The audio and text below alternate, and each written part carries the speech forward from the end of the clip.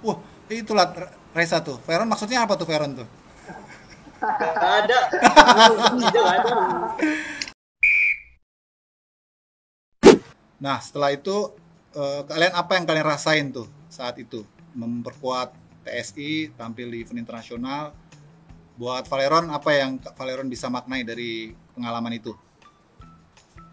eh ada event JSSL tuh buat eh, eh, mental kita buat naik lagi terus bisa menambah jam terbang juga Hmm, hmm, bisa menikmati atmosfer di luar juga terus bisa ketemu temu pemain dari luar hmm, hmm. Terus itu yang pertama buat Veron main di luar atau udah sebelumnya pernah? ya itu itu yang pertama pertama kali ke luar negeri Oke, oke. Kalau buat Reza gimana Reza? Kesannya? Sama seperti sama seperti Spiron sih eh, buat asal mental di luar negeri untuk persiapan buat Yakut juga kan. Hmm, hmm, hmm. Eh, itu juga udah bagus mainnya sama-sama udah kompak dan Hmm. final juga alhamdulillah. Ya, oke kita lompat dulu deh ke ke Veron. Eh, Veron gimana? Eh, ini musim kedua bersama Persib. Apa yang Veron bisa dapatkan pengalaman dari musim pertama kemarin? Eh, kalau yang saya rasain musim pertama tuh banyak suka dan dukanya juga karena pas lagi di, di 8 kita nggak dapat poin eh, berat juga gitu bawa nasib dapat poin nah buat di musim selanjutnya insya Allah bisa memberikan yang terbaik dan bisa selalu menampilkan yang terbaik juga buat teman-teman dan semua bobotoh Wih, kelas. Nah, Reza gimana Reza tadi terputus nih?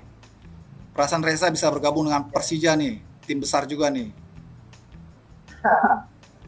Eh, juga pertama-tama kan gua eh, ke Pestira Persikabo Ya. Eh, itu juga juara alhamdulillah buat uh, mengatasi mental juga Hmm. karir sejak apa awal karir terus tiba-tiba juga disuruh ke Persija Siapa yang suruh itu? itu kaget sekali ya Siapa yang nggak suruh? disuruh sih kayak kontrak kontrak Oh. Reza dikontrak berapa tahun di Persija? Tiga, tiga tahun Tiga tahun. Setelah tekan kontrak ini Reza sampai sekarang belum sempat latihan bareng dengan Persija U16. Karena Reza langsung dibawa oleh Persija untuk program eh, short eh, course di Spanyol ya Reza ya ketika itu ya. Ya, jadi pengalaman apa yang kamu dapetin tuh selama 40 hari latihan di Spanyol? Spanyolnya di mana sih? di itu Victoria Gasteiz Oh, oke. Alaves Alaves ya. Jadi ap- apa yang Reza bisa tangkap dari eh, metode latihan di sana, kemudian fasilitas di sana seperti apa? Coba bisa cerita nggak? fasilitasnya sih eh, lengkap, memadai, bersih. Ya, Lampunya sudah dimatiin semua, harus. HP, HP juga udah dituin. Begadang mulu lu sih Ya, terus Terus jadi eh, kita bisa tahu ya bahwa memang sepak bola di Eropa khususnya jauh lebih speedy ya, lebih cepat mainnya ya. Jadi nggak seperti di Indonesia ya itu pasti pengalaman berharga lah buat Reza ya. Mengambil keputusan mesti lebih cepat ya. Nah, nah, Eh, sekarang eh, Veron ya. Veron ini udah musim kedua, musim pertama Veron kan di Persib, Mas. Nah, apa yang eh, Veron bisa dapatkan tuh dari apa namanya eh, pengalaman musim lalu dan untuk musim depan ini bersama Persib Bandung.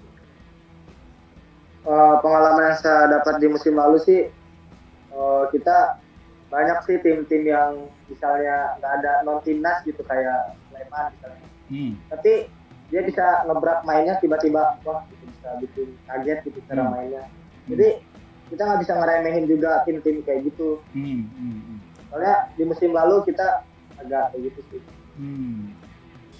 Eh, mungkin gara-gara mental kali om belum terlatih kali Wah, diketawain sama sama Reza tuh. Persija awas lu Persija lu Eh, gimana ya adanya rivalitas juga buat semangat tim buat Hmm. pemain juga jadi agak lebih baik biar mainnya bisa ada rivalitas juga buat Pin tuh Veron tuh bilang itu. Ya kalau rivalitas ya emang kenapa tidak ya gara-gara klubnya juga sama-sama besar. Oh, Oke. Itu adu gengsi juga. Oh gitu ya.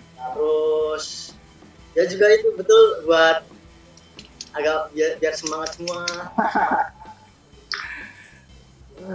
Ini ini seragam yang eh, tahun lalu ya sebetulnya ya. Seragam yang tahun Tahun lalu. lalu. Betul. Yang tahun ini belum dikasih ya? belum Oh, kemarin kan udah sempet TC itu. Memang nggak dibawa pulang, nggak dikasih. enggak Di, dikumpulin Enggak. lagi.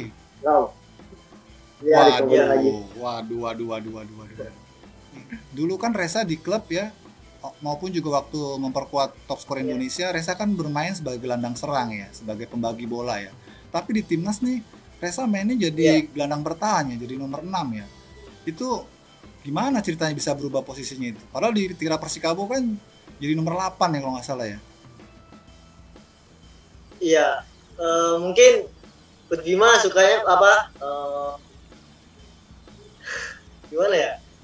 Ceritanya tuh pas nggak tahu pas latihan Hmm, saya disuruh nyoba ke nomor 6. hmm. Nah, pas nomor 6 kata Coach Bima juga pas ini cocok kayak nomor 6 kayak Coach Bima. Hmm. Tapi kan nomor 6 itu kalau kita tahu kan identik sebagai gelandang apa ya istilahnya gelandang pekerja ya, gelandang yang tukang rap-rap lah ya. Tapi Reza ini kan stylish. Reza gimana bisa mainin peran lebih lebih soft gitu nomor 6? Ya harus harus bisa kayak maunya pelatih aja harus itu Oh. demi Indonesia. Woi, kelas. Jadi posisi itu nggak penting ya. Reza ya dan Veron ya. Posisi nggak penting. Yang penting kalian membela timnas di mana pun posisi yang diminta pelatih main ya. Nah, menurut kalian dari pertandingan-pertandingan internasional itu yang kalian hadapi, mana yang lebih berkesan tuh? Reza, Reza. lawan oh Reza dulu Kalau saya pas lawan Jordania Hmm. Apa tuh kesan itu? saya eh, kayak gimana ya mainnya tuh lebih enak Hmm. Eh, teman-teman juga semuanya mainnya juga kompak Oh. terus eh, juga dikasih keberuntungan kemenangan Wow, menang kemarin ya lawan Jordan ya waktu dicoba ya. Nah, terus kalau buat Veron, momen apa yang berkesan Oh. nih membela timnas? kalau kalau aku sih pas AFF lawan Vietnam Oh, yang yang Veron bikin gol pertama ya? ya Wah, iya Om sempat lihat juga tuh. pertama. Itu prosesnya Terus- kelas banget. terus pas lawan Myanmar di Myanmar juga Hmm. Bagaimana ketika di pra Piala Asia ya, Veron juga Reza itu kan lawan terberat kalian Cina ya. Om juga sempat nonton itu di tribun sama para orang tua. Itu melihat dari ukuran eh, postur aja Om udah agak eh, keder juga ngeliat anak-anak ini. Mampu nggak ya? Karena Cina ini tinggi-tinggi besar luar biasa. Dan saat Ya. itu kalian nggak boleh kalah kan? Kalian minimal harus seri kan untuk bisa memastikan diri lolos ke putaran final kan ya?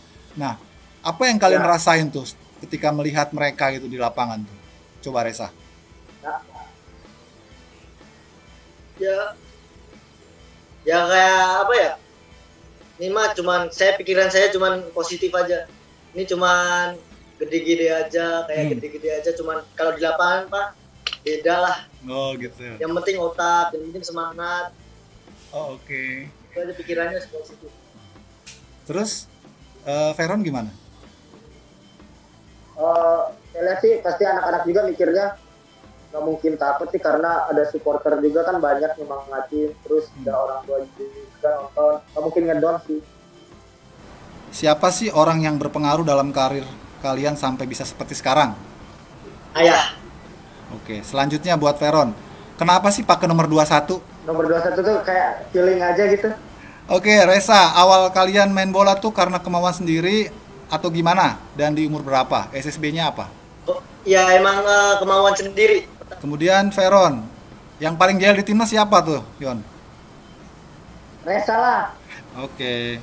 Terus yang terakhir nih, nanti kalau lulus SMA mau lanjutin kuliah apa fokus sepak bola? Nah, gimana Reza? kuliah maunya Ah. dulu maunya kuliah tapi lihat second aja second waktunya lihat bisa atau enggak